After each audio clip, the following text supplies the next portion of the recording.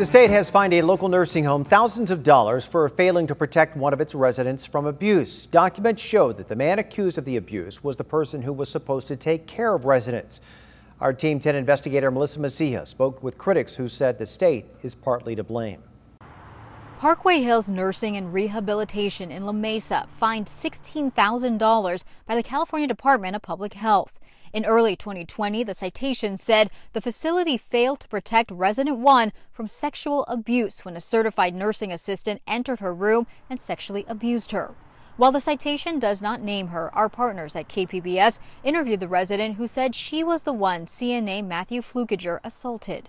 She said he told her to stay quiet. He was making his eyebrows go up and down and saying, I know where you live and, and and your family and moving his eyebrows up and down like he was putting a spell on me or something. And then he says, So trust me, I know you're not going to say anything. Fluckiger now faces five felony counts of lewd acts upon a dependent adult in connection with three elderly women. KPBS reported abuse allegations surfaced a few years before Parkway at other nursing homes. The facility itself didn't bother checking um, employment uh, history, didn't call former employers, so didn't get to uh, find out that this guy had a, a, a very troubling history. Attorney Mike Dark is with the California Advocates for Nursing Home Reform. He blames the nursing homes and the Department of Public Health. There were at least three instances of sexual uh, misconduct that had been reported to the state about this same individual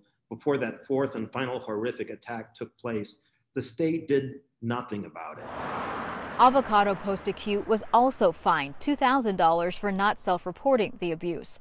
Nobody there would comment. A Parkway spokesperson told me they would email me a statement, but as of 5 p.m. Monday, I hadn't received anything. California Department of Public Health has to be much more transparent and much more aggressive immediately to ensure these kinds of, of violations. Fluckiger is in custody, being held on $1 million bail. His next court appearance is scheduled for August. I'm Melissa Mecija, Team 10. Team 10 asked the Department of Public Health why the CNA was able to transfer to various nursing homes. A spokesperson told us the state law does not require skilled nursing facilities to conduct criminal background checks, but many do. We also asked why fines were issued only recently when the alleged abuse happened in 2019 and 20, where we're told the penalty process doesn't start until after the investigation is complete.